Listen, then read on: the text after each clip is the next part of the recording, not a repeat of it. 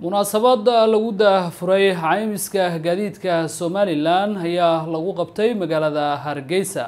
Sida warbixinta warkan uu ku faahfaahinayo wariyahayaga faysal fifa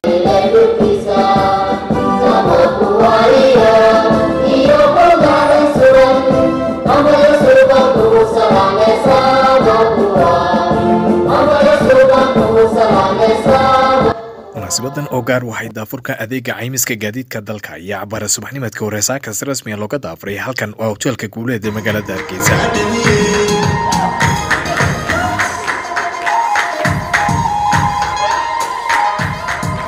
qorshaha cayminta gaadiidka dalka oo ahaa mid muddo la soo dhiraandhirinaya samarhaantana diyaarintiisa si weyn ugu fooganaayeen muddooyinkii dambe. Mas'uuliyiinta hay'adda caymiska qaranka oo muddo kooban xilligan jira oo kaashanaya samarhaantana gacan dheeriya ka helaya laamaha kala duwan ee dowladda ee arrintani khusayso iyo shirkadaha ganacsi ee ka shaqayn doona cayminta iyo kuwa loo samaynaya adeegan caymiska ayaa ugu maanta si rasmiya loogu dhawaaqay bilowga qorshaha cusub ee cayminta gaadiidka dalka. Xubno ka mid a golaha wasiirada gudoomiye ku-xigeenka koobaad ee aqalka wakiilada xildhibaano ka tirsan golayaasha qaranka mas'uuliyiin ka socda laamaha kala duwan ee dowladda mas'uuliyiinta hay'adda caymiska qaranka.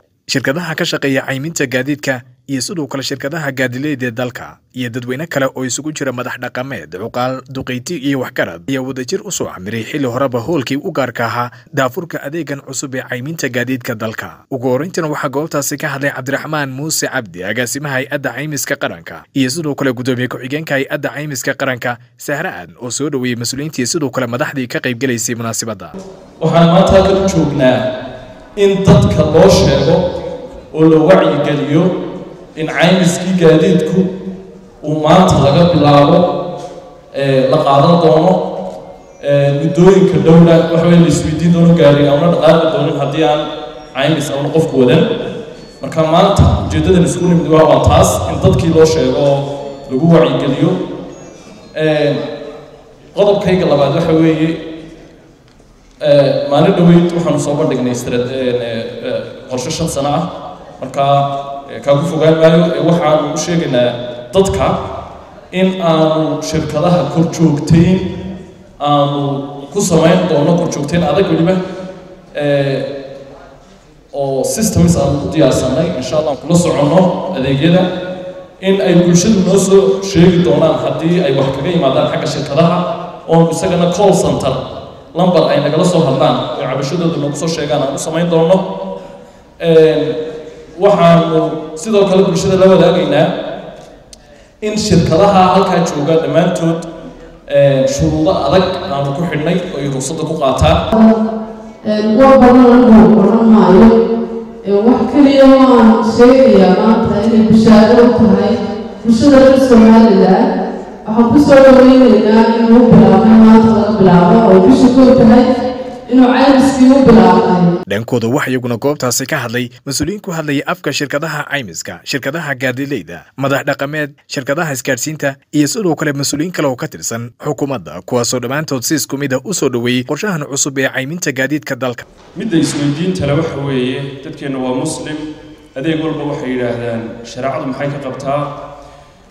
Tiifiyada waad ka aragteen youtubadana waad ku arkaysaan culimadana waad weydiin kartaan kutubtana waad ku noqon kartaan dhammaan dalalka muslimka kalena way isticmaalaan shareecada ayuu waafaqsanyay.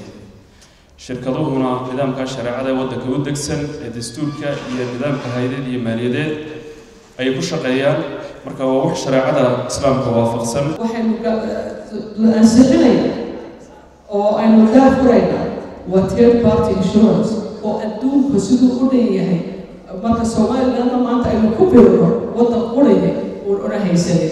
Inaguse aan maanta haysano iyaynu maanta daafuraynaa sharaf weyna way noo tahay waanan maaragtay ku faraxsannahay annaguna haddaanu shirkadaha caymiska nahay si wanaagsan ayaan dowladda u shaqaynaynaa shicibkana ugu shaqaynaynaa maasha haddaan nahay waxaad moodaa in annagooda loo qabanayaba aan dee dheeraad doona waxa leeyahay caaqliba iska soo bixi dumar lahaya dadkii nin kale waa qaanaan geeliyaala mooye dee isticmaasha idinma haysto. Anigu cuqaasha soomaaliya ku hadlaya waxaan leeyahay caymiska waanu ka mafsuuday waanu ka mafsuuday waanu ka mafsuudnay ragga baabuurta waxaan caymiska baabuurta gashada baabuurta caymiska gashada baan leenahay waxay anaan affordable aan awoodi karayn in dhaqaale ahaan la galo dee idinkana idin anfici mayso in waddada gaadiidka laga ururiyo laysla kadeedno tuugo iyo tuugeys iyo kadawaleeyo laabo. Adeegiisa u socon maayo. Marka waxaa idiin soo jeedin lahaa hawarkiina fursad dowladdu ay idinku soo xakameynayso gaadiidleydii u arka inay tahay opportunity idin competitive price ka keentaan dadku ay qiimaha ku awoodi karaan. Oo marar kala duwan oo horeba ay noogu soo dhacday inaanu ka raadsano ama baanu ka dooranay waddamada jaarka inaanu caymis ka samaysano. Laakiinse maanta alxamdulilah kolaadii maanta qarankii inoo daafuray shayga ugu horreeya ee ku qoran waxa weeye inaan wax diinta waafaqsanayn aanu sharci ahayn. Marka waxaan leeyahay yaa meelaad maanta qaadeen? Horta diinta barta laftiinnu kutubta soo qaatoo diinta barta waxaa kaloo ballan qaadeen in caymiska aan ka hor imanayn diinteenna ee tacaawuniga ah.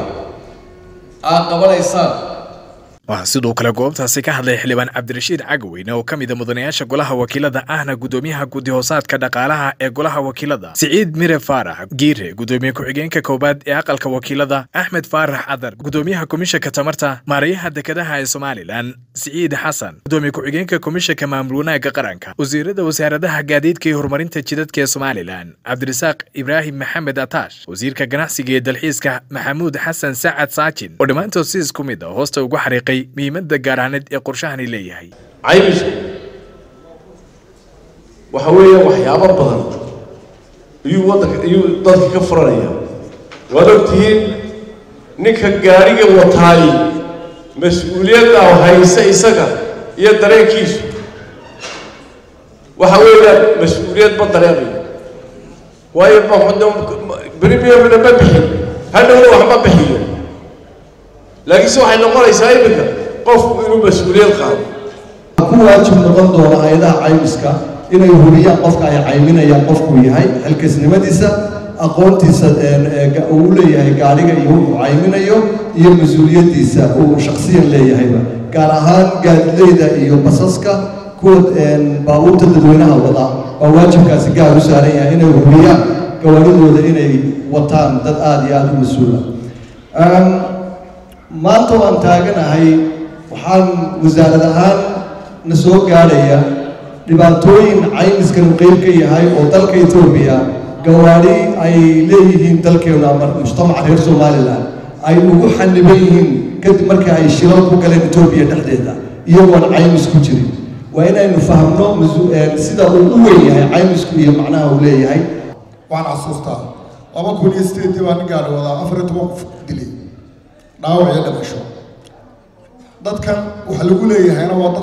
dhammaan qurbaha ninaa biya cadan ku dhashay isaguna imaaraadka ku dhashay oo yurub jooga ayaa jilibkiisii magti laga waayay caaqilkiiba aniga ii soo orgoodo wuxuu yidhi siciidow ninkaa la hadalo waxaad u tiradaa mag iska soo bixiya ninkii baan telefoon u diray warada shilkaasaa dhacay waxaasaa laydinka doonayaa intaasoo nin baatiyiin magtii soo bixi intuu qoslay buu igu yidhi ada ninka gaariga watay maan inshoran lahayn inshorankiisa ha tago lacag ka bixiyeen buu yidhi. Waayo aniga maxaa iga galay inaan lacag ka bixiyo buu yidhi.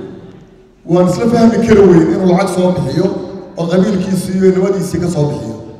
Waxaad moodaa inayna maanta ka bixi doono salebaan cawad cali bukhaari gudoomiyaha hay'adda caymiska qaranka oo ka mid ahaa mas'uuliyiintii halkan ka hadlay ayaa si aada ugu nuuxnuuxsaday muhiimadda gaaraaneed ee qorshahani leeyahay iyo ka xukuumad ahaan dadaalka ay ugu jiraan in dalka laga hirgeliyo qorshaha cayminta gaadiidka dalka. Maanta keliya waxaan leeyahay war aad baa ugu mahadsan tihiin inaanu garab gashaan oo madaxweynuhu horeeyo mas'uuliyiinta qaranka shirkadaha caymiska bixiya waan gaar aad iyo aad ugu mahadnaqayo sidaa yuusuf sheegtay. Markaanu wada hadlayno shuruudaha iyo arrimaha ka wada hadlayno aad baanu isugu adkaanaa. Laakiin waxaanu isku daynaa marka inaanu hawsha socodsiino iyagu way isku duuban yihiin. Annaga iyaguna wada shaqaynaynaa qarankana walaalinaynaa ugu dambayntiina waxaa si rasmiya munaasabadan u soo afmeeray dr. Sacada cali shire wasiirka wasaaradda horumarinta maaliyadda ee somalilan ahna gudoomiyaha boorka sare ee hay'adda caymiska qaranka. Waxaanu dul istaagay muhiimadda gaaraaneed ee cayminta gaadiidka. Inoogu hirgalo waxaa loo baahan yahay saddex daraf in daraf waliba uu ka soo baxo xilkiisi horta shirkadaha haddaan ku bilaabo kow shirkadaha caymiska waxa looga baahan yahay in laga helo adeeg meel kasta jooga oo hufan iyo wixii xuquuqii lagu yeesho inay uga jawaabaan si deg dega gaadiidleyda waxaa looga baahan yahay. Inuu yahay gaadiidku mid bed qaba ayaa looga baahan yahay iyo inuu dareewalku yahay qof aqoon u leh iyo xirfad iyo waaragnimo dareewalnimada waxaa loo baahan yahay dareewalka inuu dhowro oo ilaaliyo sharciga wadamarista inuu dhowro xaqa cid kastoo la wadaagta waddada ayaa loo baahan yahay xukuumadda darafka saddexaad waxaa looga baahan yahay inay ku ilaaliso shirkadaha iyo shicibka iyo dareewalintaba sharcigu mataqaanaa waajibaadka uu ka rabo iyo shuruudaha laga rabaa loo baahan ku ilaaliso dowladdu. Faysal maxamed aadan faysal fifa t v-ga soomaali cable. Hargeysa